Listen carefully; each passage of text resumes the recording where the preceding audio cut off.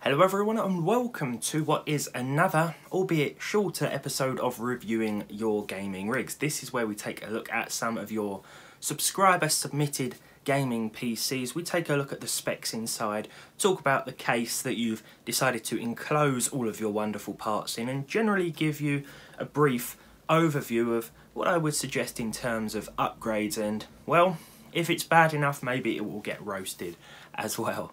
Seriously though, this video is a little bit shorter because I've realised it's July the 30th and tomorrow is July 31st. The deadline in which I must pay some more tax. So I thought we'd briefly keep the tax man waiting. Never a good idea. and then uh, I'd sort all that out later today. That's an important thing to remember as well. Taxes, always pay them always get them right, always double check them. But this isn't a financial advice channel, this is a PC focused channel and today, well, it's time to review some more of your rigs. So I thought we'd start with this excellent submission from SW underscore archives. I always want to pronounce archives archives for some reason, but that's probably my mild dyslexia. So Hey RG, I saw your recent RYGR video and remembered I made a submission back in June 2019. Oh my goodness, I apologise. See, sometimes I do get clogged up with submissions, but hopefully you've still got this PC, and if you haven't, well, be proud that you once owned it, because this is a marvellous Alienware rig. So, this Alienware looks very, very good indeed. Um, they've actually left a video as well for this machine, which I'll leave a link to down in the description. It features an i5-4440 on a GAP85D3 motherboard, 12 gigs of DDR3 at 1313 1333 megahertz, and MSI GTX 770, love those cards, a 240 gig SSD, 1 terabyte hard drive, 525 watt Dell 80 plus silver PSU, a Blu-ray drive, etc, etc. And the best part is, they say, it only cost 165 pounds. I absolutely love these old Alienware systems. I think the cases look very good. I'm just picturing, I mean, I can just imagine how heavy that is by looking at it. Those cases sure do have a lot of weight to them, but I think that sort of represents the quality of these older machines. They were very expensive, but they certainly felt very, you know, good quality, very sturdy. Uh, and back in the day, you could have expected to pay a rather large sum of money for one of these beasts. Now, if you do pick up one of these Alienwares and you want to swap the specs, um, like in this situation, then you just have to be careful that the new motherboard will fit inside the case um, due to some older Dell machines having various unique let's say form factors. But yeah some cases should be absolutely fine. I mean I've dealt with a couple of Alienwares that have been fine and it's always a great looking project in the end once you've finished upgrading an old Alienware. It really does look very good. Okay, next up we have a submission from at Venturian628. This was submitted on Twitter. This PC features an old school i332 40 at 3.4 gigahertz, a GTX 550 Ti, absolutely love those 550 Ti's. It's a one gigabyte card. We have played around with those in the past and when that first came out that was my dream GPU. This is actually a very nice pairing, a very nice entry level PC for playing some light games. Uh, this also has a 500 watt power supply and they did mention that they were going to upgrade to 10 gigabytes soon by adding an 8 gigabyte stick um, but I've just seen the reply down here and it says they've now got two HyperX 4 gig 1600 megahertz sticks and an Asus P8H61M LE USB 3 motherboard. Yeah, I was going to say that just slapping another random RAM stick in there probably wasn't the best idea. If you're going to upgrade the RAM, then try and get two sticks of equal stuff. You know, if you've got 4 gigs, um, you find another random 4 gigabyte stick on eBay that's not of the same brand, totally different timings, things like that.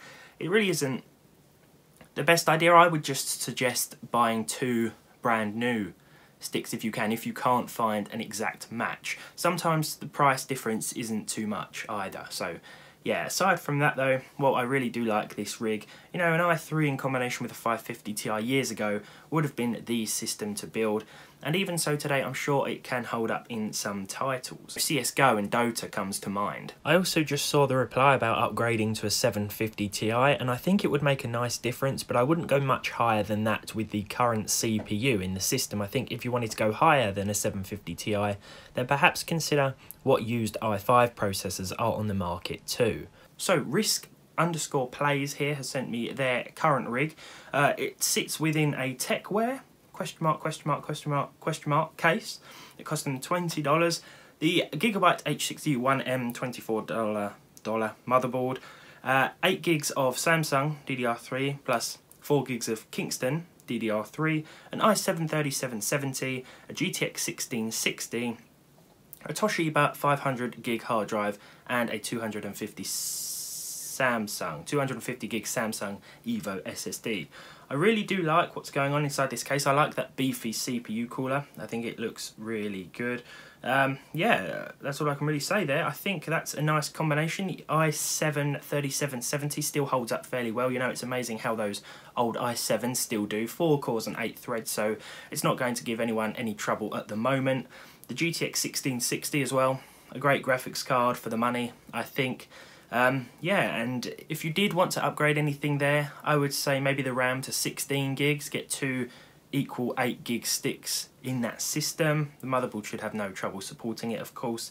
And I think that both the CPU and GPU are still going to be okay for the near future. Of course, I can't speak for the next couple of years when we see the release of next gen consoles, how that will impact older PC hardware, but for now, that's a very nice setup, and the i7 and 1660 will go great in combination. The great thing about those i7s is that they can be picked up for such a little money now in comparison to what they used to cost. So yeah, and they still offer great performance. Okay, so next up we have a very nice looking build, very nice indeed, from Kid Tendo 89.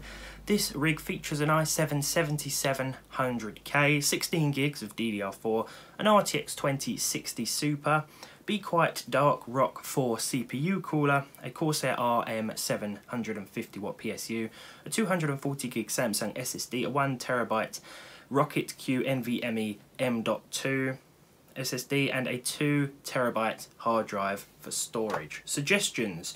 Well, there's nothing really to suggest there. That is a very nice build. I think it looks great, especially with that dual monitor setup there. You know, I can't really recommend the i7 7700K to people who want to build a PC now because, you know, you might as well just get something like the Ryzen 3 3100 or 3300X. They seem to be decent options that can compete with those older Intel chips. But yeah, on the used market, those i7s are still very good. If you can find one cheap enough, look out for them. And in pairing with an RTX 2060 Super, yeah, there's nothing really there to criticise. I mean, it looks good, looks clean. There's some great shots of the system there as well. And the Be Quiet beefy coolers are really very good. I always recommend Be Quiet stuff. I think it's fantastic, especially for the price some of the stuff costs. Okay, so this PC from at Dallas, apologise every time for pronunciation, really caught my eye. It features a Ryzen 5 1600 AF at 4GHz, fantastic chips if you can find them, of course.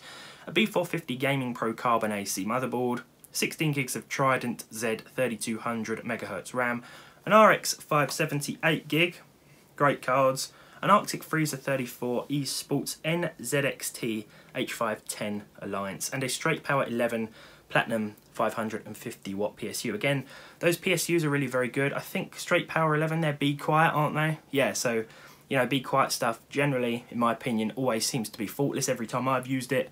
I really do enjoy their stuff. This isn't sponsored by Be Quiet or anything like that, but it could be, if you're watching.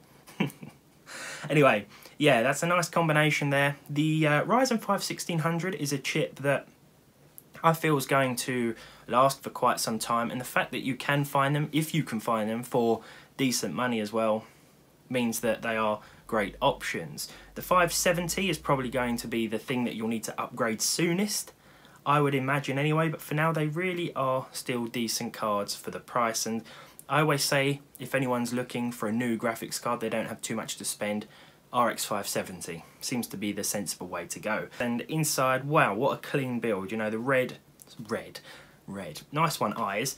The blue and white cables look really, really nice. I think a lot of love and care has gone into that machine because it really shows in these pictures. Okay, so this is uh, one from Christo 685849006.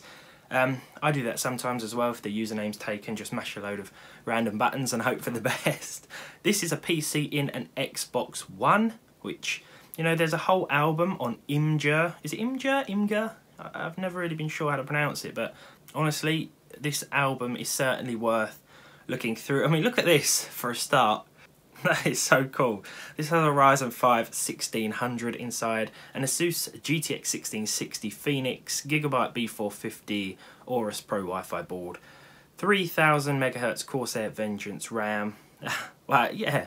500 gig WD Blue M.2 SSD, a 2 terabyte Seagate SSHD, do you know, I'm surprised at how all this stuff fit in that case, to be honest. An FSP Mini ITX slash Flex ATX 500 watt 80 plus gold power supply. So the components are really good. You know, top quality components in there. It's just a matter of making them fit, and it seems that you've done so really quite well. I mean, it's certainly an ambitious project. Overall, the CPU runs around 65 degrees under 100% synthetic load. I mean, that's impressive in itself in such a tiny case.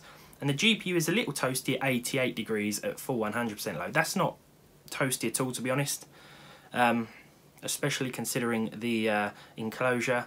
Not enough to throttle, but definitely enough where this will need to be a well-ventilated area. Well, yeah. When closed up, yeah, I can imagine the case gets nice and warm and would be a perfect spot for a cat. Yeah.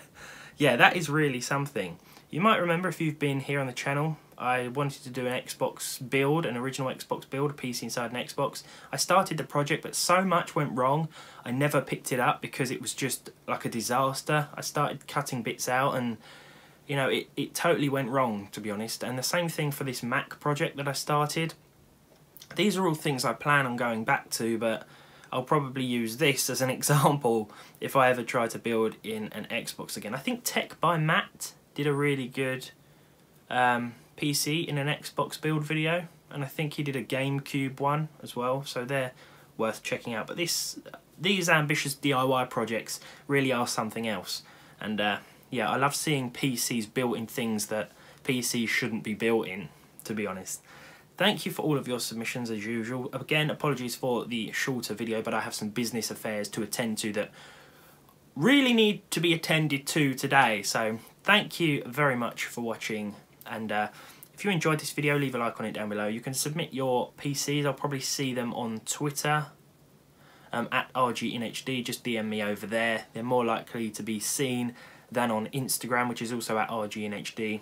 Leave a like on this video if you enjoyed it. Leave a dislike if you didn't. Subscribe to the channel if you haven't done so already. And hopefully, I'll see you all in the next one.